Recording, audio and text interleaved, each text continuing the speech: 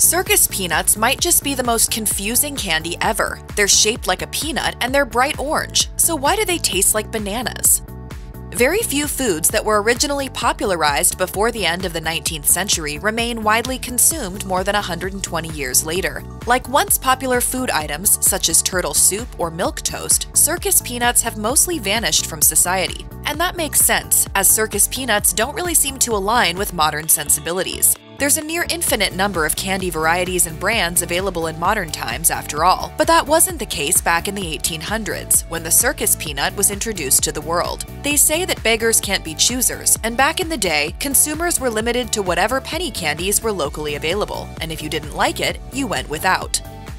Of course, understanding why people ate circus peanuts isn't quite the same as understanding why they were invented in the first place, because very little about the circus peanut makes much logical sense. When you see a food item designed to resemble a peanut, you likely expect it to taste like a peanut. Similarly, if you eat a candy that's bright orange, you likely expect it to have an orange flavor. Confoundingly, though, circus peanuts don't taste like either peanuts or oranges. They randomly taste like bananas. That's confusing for the human brain and may help explain why circus peanuts aren't as popular as they once were. Thanks to some combination of genetics and environment, most of us develop a general set of expectations for how food should taste and feel based on its appearance, smell, and texture. Beyond the puzzling flavor profile offered by the circus peanut, their generally soft and chewy texture isn't always neurologically appreciated either. Between evolution and human experience, when we see a peanut shaped item, we expect it to be crunchy rather than soft. In other words, the sheer design of circus peanuts is simply too much for many people to wrap their heads around.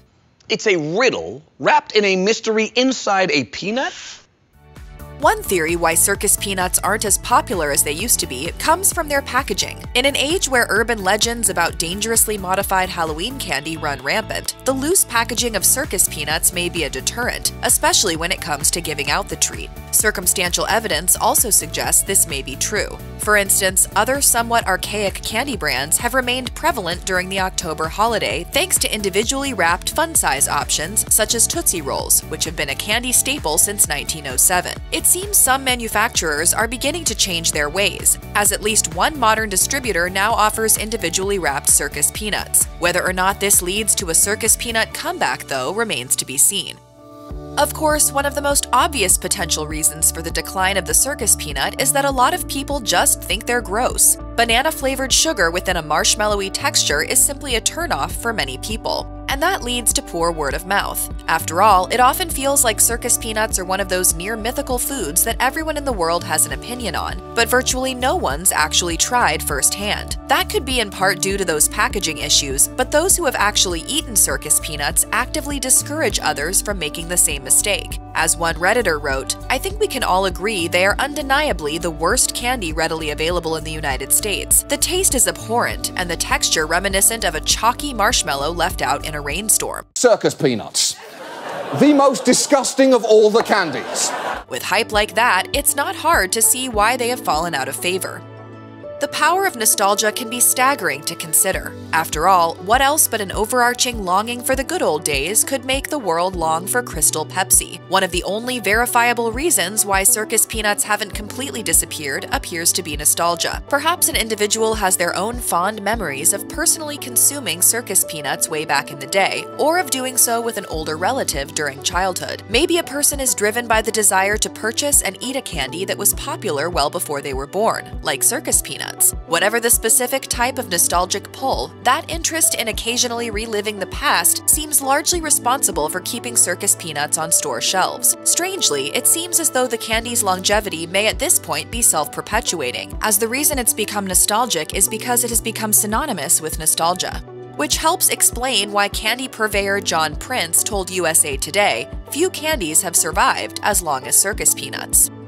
In 2006, Steve Kerr, the VP of Operations for Spangler Candy, one of the last circus peanut manufacturers in the nation, dropped a truth bombshell on the world when he revealed that he doesn't actually like circus peanuts. It's like learning that Santa doesn't like Christmas. It's little surprise that many people dislike circus peanuts as it's literally a matter of taste. But to discover that the folks responsible for bringing the old-timey treat to the masses also don't like them is a bit weird, especially since it suggests that they make circus peanuts just for the money. And that opens up a whole other can of worms, such as there's money to be made making circus peanuts? Given the tiny market share circus peanuts have in the current candy world, that may be even more inexplicable than the banana flavor. It's revealing to consider how many gloriously delightful candy brands are available to the modern consumer. Reese's, Twix, Snickers, Almond Joy, Butterfinger, Three Musketeers, you get the picture. And candies aren't even the tip of the iceberg when it comes to the seemingly never ending options at one's disposal. Of course, the abundance of rich chocolate, fruit, or caramel candy varieties that have been introduced since the creation of circus peanuts illustrates one of the very reasons they disappeared over time. There are simply better options. Whether or not circus peanuts are the absolute worst candy on the market in the 21st century is a matter of opinion, but it's unlikely that many, or any people, would say that circus peanuts are their favorite candy. The candy game is just too fierce a competition these days, some might even say cutthroat. However, did you survive the fall? Landed in a dump truck full of circus peanuts. Objects that exist in the world are supposed to make sense. If they don't, we just go completely ape. There's a presumed order to things, after all, and a specific logic that dictates what we should expect to see and experience throughout life. Of course, the sheer fact that circus peanuts are a real food product, and not something a preschooler imagined and then molded out of Play Doh, is confounding for a multitude of reasons. And we cannot find exactly why the circus peanut got its shape, how it got its name, how it got its flavor, or how it got its color. And then there are the basic questions why don't they taste like peanuts? Is it so much to ask that a product both named and shaped after the basic shelled legume, one that masquerades as a nut, actually tastes like a peanut? Why color it orange? And why banana flavor? That last one may actually have an answer, believe it or not. According to Andrew Zimmern's Field Guide to Exceptionally Weird, Wild, and Wonderful Foods, rumor has it that the banana flavor results from a freak banana oil accident. Circus peanuts, the result of a freak accident? That's one rumor that is all too easy to believe. If you believe the tale told by General Mills regarding a certain magically delicious breakfast cereal, the most important culinary creation resulting from Circus Peanuts' century plus history has nothing to do with the candy, and everything to do with the marshmallow bits found in Lucky Charms, which are known as Marbits. It appears experiments involving a bowl filled with Cheerios topped with chopped circus peanuts led to the development of Lucky Charms. That does perhaps beg more questions than it answers. For example, why on earth would someone chop up circus peanuts and put them in a bowl of Cheerios. But the fact that the greatest legacy of the circus peanut is the accidental creation of a much more beloved product says something about the status of circus peanuts, as does the fact that none of the Marbits found in Lucky Charms are actually circus peanuts. Blue diamonds? Okay. Purple horseshoes? Sure. But apparently orange banana peanuts were a bit too much of a stretch. It's a well known fact that nothing in life worth doing will be easy. Of course, while we accept the notion that worthy endeavors require both time and effort, some excessively challenging tasks don't necessarily count as worthy, like, say, the production of circus peanuts. In fact, despite being one of the least popular candies on the market, when it comes to how circus peanuts are actually made, the process is almost laughably difficult. Circus peanuts are reportedly enormously difficult to make properly, and have even been described by Spangler Candy as the most most difficult candy, production wise, made by the company. More than anything, it seems ensuring the final product retains an appropriate amount of moisture is the trickiest part, since threading that needle is absolutely crucial to creating the circus peanut's unique texture. Additionally, the surprisingly time consuming preparation process for making circus peanuts includes a 24 hour drying period in a temperature controlled room, though what exactly the correct temperature is for circus peanuts remains unclear.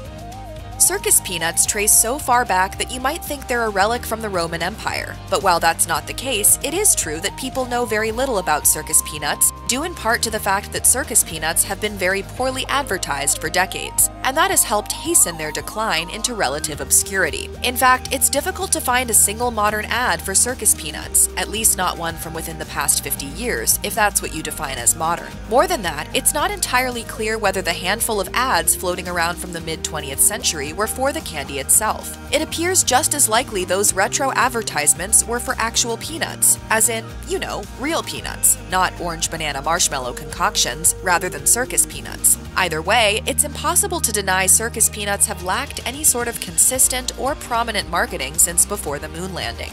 So, would some kind of hip, viral ad campaign suddenly make circus peanuts the hottest thing around? Well, if there's one thing we've learned from social media trends, it's that literally anything could become popular if it becomes a meme first. There's still hope, circus peanuts. Did you know that prior to the 1940s, circus peanuts were sold as seasonal candy in the springtime?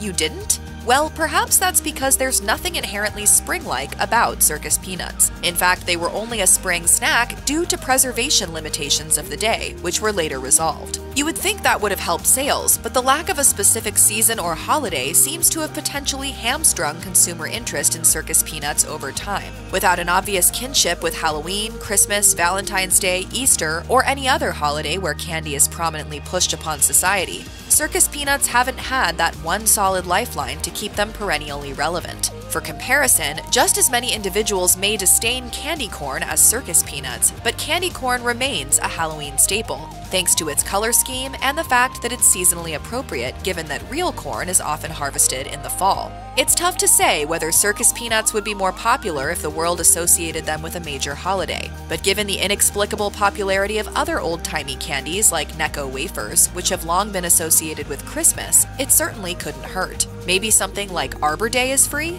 It's just inexplicable enough to fit the confusing world of the circus peanut.